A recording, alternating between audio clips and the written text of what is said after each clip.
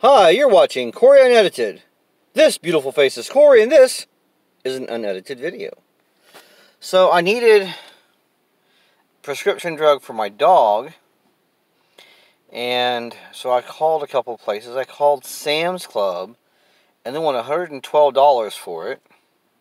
I called Publix, which if you're in if you're in uh, Florida, you'll know what that is. But if you're not in Florida, that's just like the grocery store for Florida. So anyways, Publix didn't even have what I needed. So I called Walgreens. They want $89.89 for it. So at least it was cheaper than Sam's Club. Then my wife said, hey, let me check this out.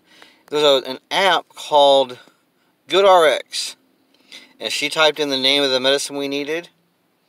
And you clicked a button to find the lowest price.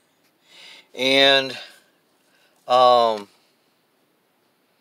the there was one there was like for CVS, which is another uh, drugstore. It was a little bit lower, but there was um, Walgreens is closer to us. Walgreens, I ended up paying thirty six dollars versus either eighty nine eighty nine or one hundred and twelve dollars. So I am not being paid by GoodRx to say this. Um, this is just a real testimonial for GoodRx. Saved us a bunch of money. Talk to y'all later. God bless.